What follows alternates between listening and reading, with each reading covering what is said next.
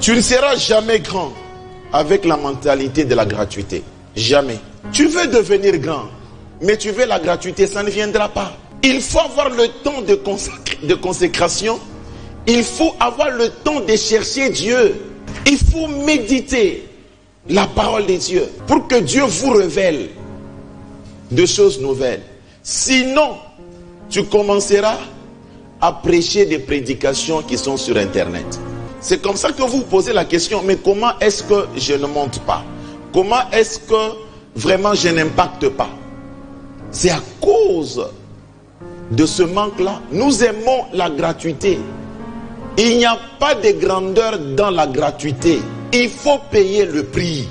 La génération d'aujourd'hui aime la facilité. C'est comme ça que cette culture de vouloir la facilité pour monter, pour devenir grand, vous abandonnez la voie de Dieu, vous commencez à aller chez les petits des vins là, qu'ils commencent à vous inciser et à vous donner n'importe quoi.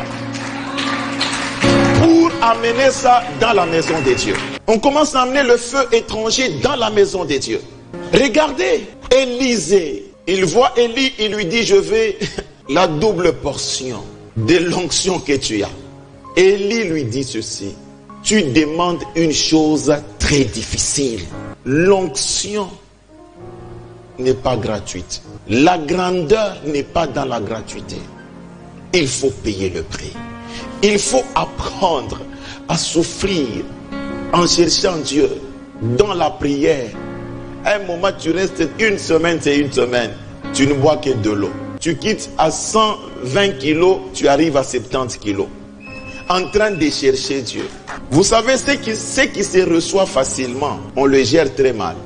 On le gère avec beaucoup de légèreté. Regardez Samson, comment il a géré avec légèreté l'onction qui lui a été donnée. Samson n'avait jamais payé le prix pour cette onction. Hein? Jamais. C'est Israël qui a payé ce prix pendant 40 ans de prière. C'est Israël qui pleurait jour et nuit dans la prière que Dieu leur donne un homme qui va le libérer.